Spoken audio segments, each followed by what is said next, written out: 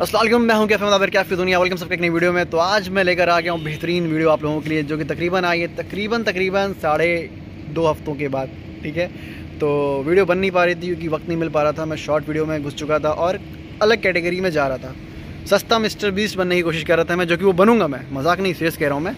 बनूँगा, लेकिन उसके लिए इसकी ज़रूरत है, जो कि पहले रेडी कर लें, उसके बाद फिर हम उसका एपिसोड नंबर वन लेकर आएँगे। लेकिन आज मैं रात में इसी तरह से बाहर निकला, एक नए कंटेंट की तलाश में।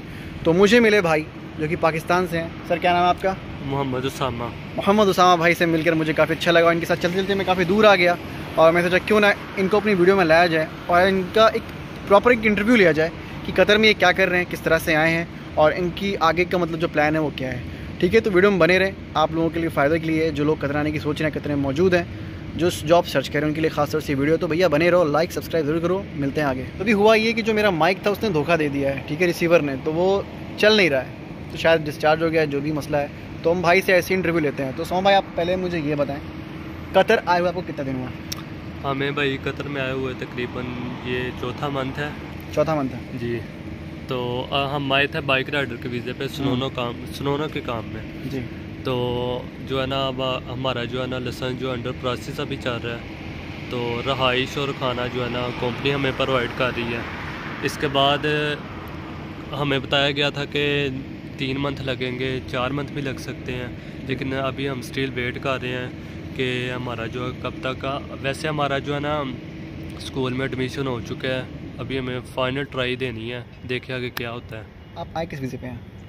मैं आया था? कंपनी के वीज़े पे हम्म। जो कि मैं पाकिस्तान से हूँ बेसिकली तो इधर कंपनी के वीज़े पे आया हूँ बाइक राइडर के वीज़े पे। अच्छा, ठीक है सुनोनो कंपनी में आया हूँ। अच्छा अच्छा अच्छा। जी तो इंशाल्लाह अगर कोई भाई आना चाहता है तो वो अपने माइंड में रखे कि कम अज़ कम जो है ना चार मंथ तो लग सकते हैं आपके जो लसेंस में क्योंकि बेसिक चीज़ जो आपकी है ना लाइसेंस ही आपका होता है। तो तभी आप काम पे चल सकते हैं अदरवाइज़ नहीं।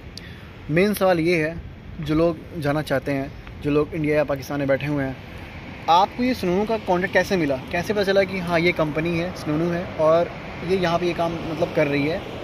आपका रबता कैसे हुआ?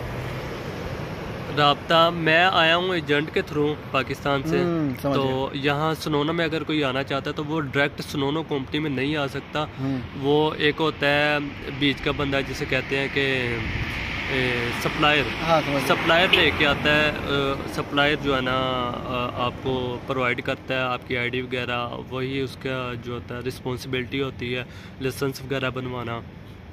उसके बाद जो है अब वो आपका कुछ कमीशन रखता है हम्म, कुछ कंपनी कमीशन रखती है और आपको सैलरी प्रोवाइड करती है। ओके तो कुल मिला के बात ये आपने अच्छा खासा पे किया होगा आने का। आपकी बातों से मुझे ये समझ में आया लोगों को मैं समझा भी दूँ कि भाई सोनू के वीज़े पर आए हुए हैं।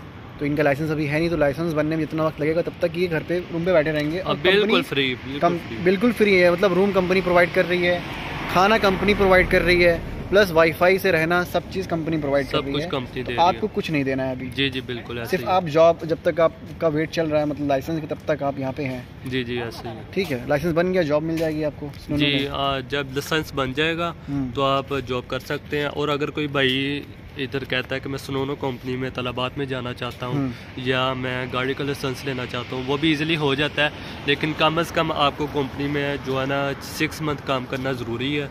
इसके लिए इसके बाद आप एक्सचेंज कर सकते हैं। ओके जो बात ये भी है जैसे मतलब कोई बाइक का मतलब बाइक में लगा ठीक है?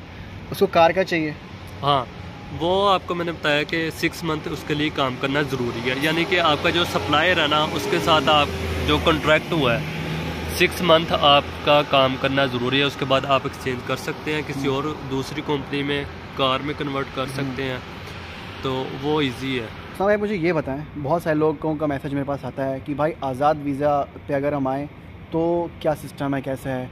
तो आप आज़ाद वीज़ा के बारे में क्या कहना चाहोगे? मैं तो कहते कहते थक गया। अब आप बताओ आज़ाद वीज़ा क्या है? देखें जी आज़ाद वीज़े पे जो लोग आना चाहते हैं ना इधर जो है ना इधर जब आते हैं आज़ाद वीज़े पे कोई काम नहीं आज़ाद वीज़े नाम की कोई चीज़ है ही नहीं। फ्रॉड है फ्रॉड है। ये समझे कि ये कानून जुर्म भी है।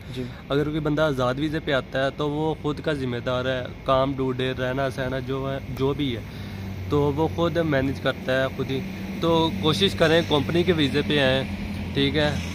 जो कॉन्ट्रैक्ट करके आएँ कंपनी किस काम में जा रहे हैं सैलरी कितनी होगी तो ये आपके लिए अच्छा होगा।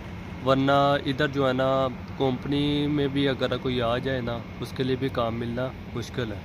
तो कुल मिला के बात ये निकली है कि देखें आज़ाद वीज़ा कुछ नहीं होता।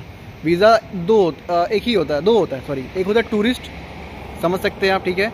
आप टूरिस्ट वीज़े पर आए घूमे टहले चले गए, आप यहाँ पे जॉब सर्च करेंगे, आपकी जॉब नहीं लगेगी। वो कंपनी वीज़ा भेजेगी, आपको घर जाना पड़ेगा। वीज़ा भेजेगी, फिर आप उसके वीज़े पे आओगे, ठीक है?